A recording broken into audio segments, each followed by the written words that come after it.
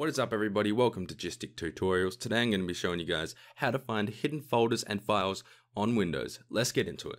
Okay, so I may or may not have some folders hidden here on this desktop, but we will find that out as soon as I show you guys how to do this.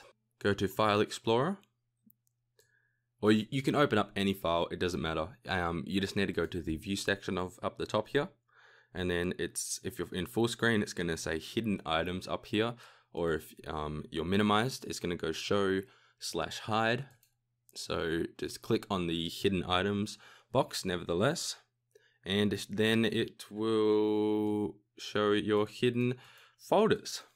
So just letting you guys know, the files you're looking for may not be on your desktop. That's if you're looking for folders that you haven't created. They could be in, they could be anywhere on your PC.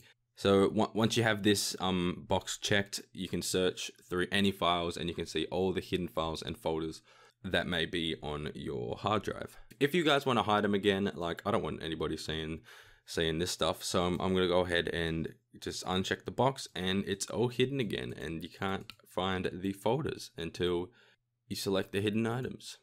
So that is it for this video guys. If this did help you, please hit that like button. And if you're not already, please hit that subscribe button. It means a lot. Um, thank you guys for 4,000 subs at work as well.